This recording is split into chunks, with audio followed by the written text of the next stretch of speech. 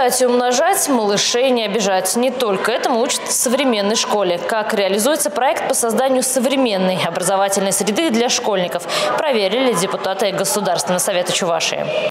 Начальная школа Чебоксарского лицея номер 4. Дети учатся правильным действиям при спасении утопающего. Роль последнего в данном случае играет конус. В таком формате здесь проходят уроки ОБЖ, которые у большинства школьников начинаются не раньше восьмого класса. Лицей выиграл грант на проект «Безопасное детство». Пока большая часть членов Комитета Госсовета по социальной политике и национальным вопросам наблюдала за тем, что происходит в спортивном зале, Андрей Александров помогал рисовать сердце человека на занятии кружка юных исследователей.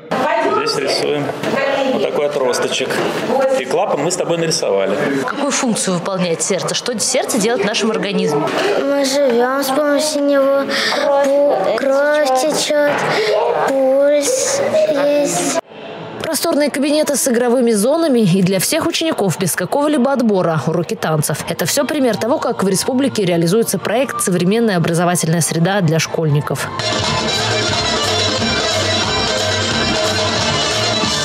Этому принципу организуют образовательные процессы в будущей школе микрорайона Волжский-3. Здесь разместят еще один корпус столичной гимназии номер 5. Это позволит решить проблему второй смены во второй Чебоксарской школе и разгрузит 27-ю, 39-ю, 54-ю и 59-ю школы, где сейчас учатся дети района. Цель директора, депутата Государственного совета Инны Исаевой сделать образовательное учреждение не просто школой первой половины дня. Школы сегодня должны быть и с хорошим дополнительным образованием. Мы строим с вами кванториумы, но нам нужно понимать, что и в самой школе дополнительное образование может реализовываться.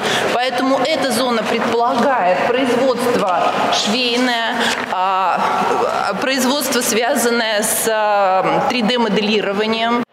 Сейчас внутри еще идут отделочные работы, однако внешнее здание уже напоминает Чебоксарскую школу номер один, которая открылась с 1 сентября 2017 года. И это еще один пример современной образовательной среды. Общая цель выездного заседания комитета – посмотреть, насколько эффективно расходуются бюджетные средства на создание условий для учеников и учителей. У меня впечатления самые приятные.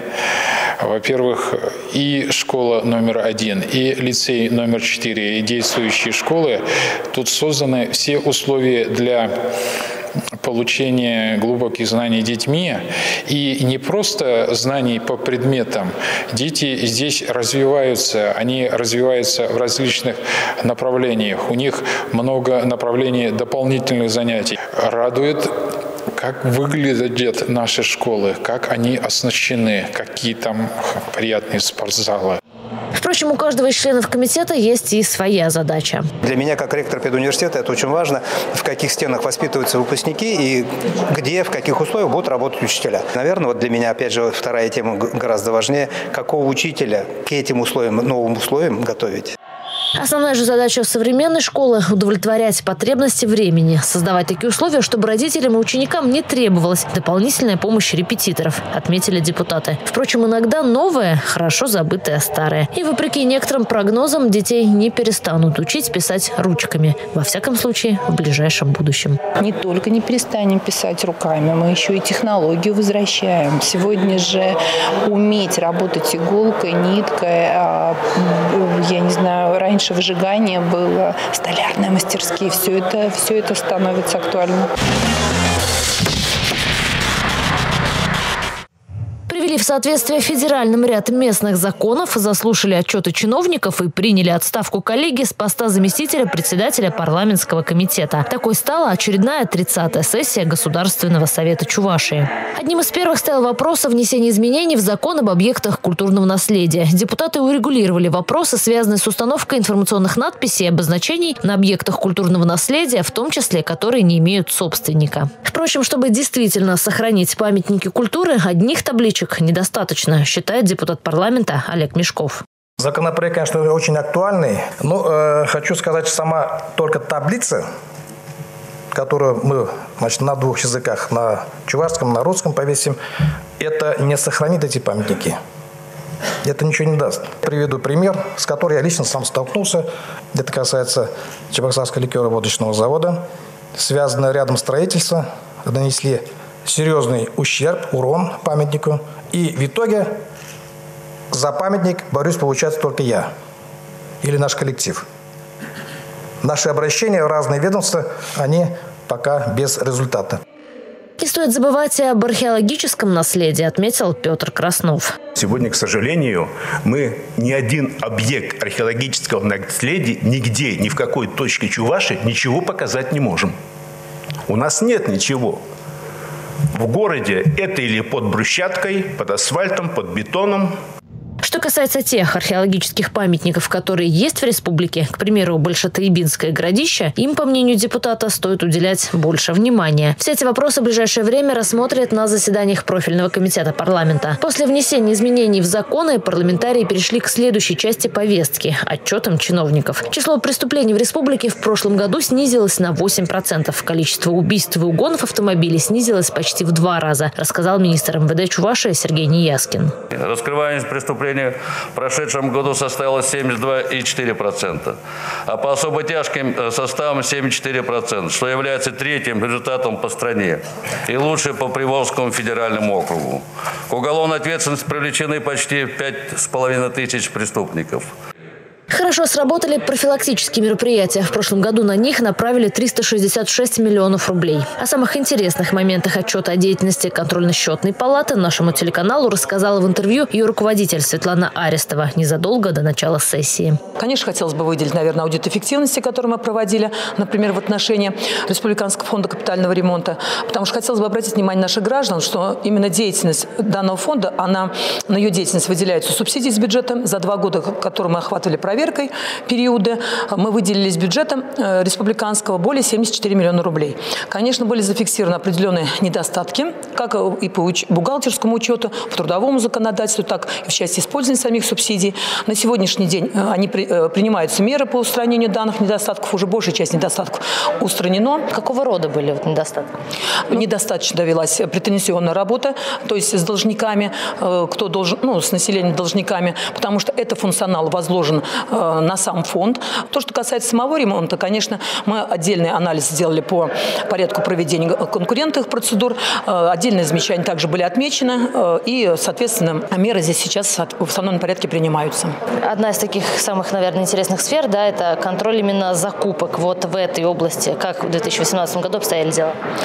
21% наших выявленных нарушений, это как раз касается государственных и муниципальных закупок.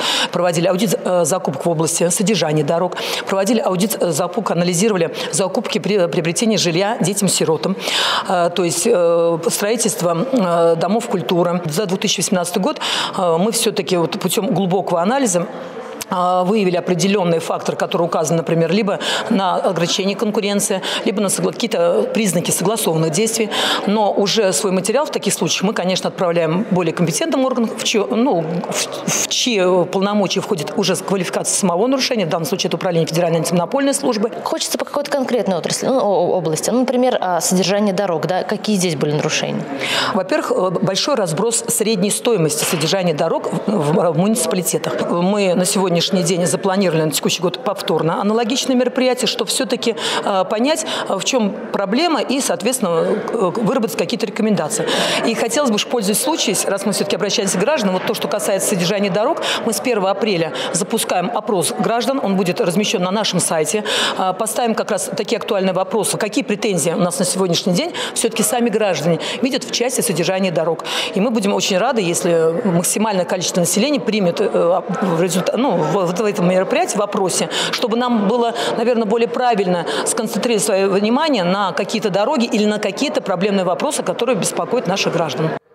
Из вопросов, которые изначально не были обозначены в повестке дня. Отставка с поста заместителя председателя Комитета по экономической политике, агропромышленному комплексу и экологии. Эти обязанности с руководителя фракции партии «Справедливая Россия» Игоря Малякова сняли по его заявлению.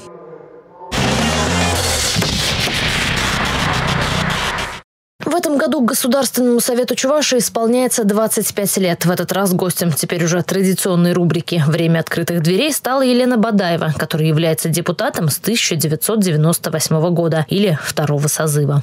Елена Бадаева родилась 9 мая 1946 года в деревне Новая Ишина Янтиковского района. Начала карьеру в 1964 году в качестве штамповщицы на Чебоксарском хлебозаводе номер один. К 1985 году стала директором Чебоксарского хлебозавода номер один. С 1993 по 2014 годы являлась генеральным директором ОАО «Хлеб» город Чебоксары. С ноября 2014 года по настоящее время генеральный директор ООО «Чебоксарский хлебозавод номер один. Депутат Государственного совета Чувашской республики со второго по шестой созыв. Член Всероссийской политической партии «Единая Россия». Лена Игнатьевна, здравствуйте. 1998 год, когда вас выбрали депутатом Государственного совета второго созыва. К этому времени вы уже несколько лет руководили крупнейшим да, в городе Чебоксары, ну, одним из крупнейших промышленных предприятий. Почему еще решили все-таки стать депутатом? Это же такие дополнительные обязанности. Э, почему я так решила баллотироваться на депутата Госсовета? Ну, э, во-первых, попросила Московская районная администрация. Да. Ну, тут обсудив коллективе, коллектив сказал, идите. Ну и мы с коллективом пошли на выборы и победили. Но с первого раза выборы у нас не состоялось, не состоялись по нашему округу, поскольку летний период, это в июнь месяц был, люди выезжали в сады, и они не успели проголосовать. Голосовать некому, да, просто? Просто людей не было в городе. Так. Потом э, на это уже в ноябре назначили повторные выборы, но там я уже с большим преимуществом выиграла. У меня всегда э, в мыслях и в душе, наверное, помочь людям по возможности. Я э, по своему округу, по Чапаевскому, в основном Чапаевский поселок, вот, всегда видела, я в этом районе жила в это время.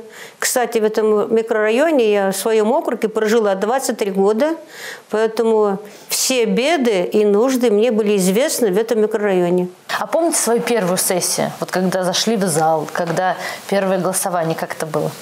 Удивительный случай, конечно для тогда еще не, не слишком, конечно, молодым директором я была, но тем не менее для меня это, как вам сказать, ну, неожиданность полная.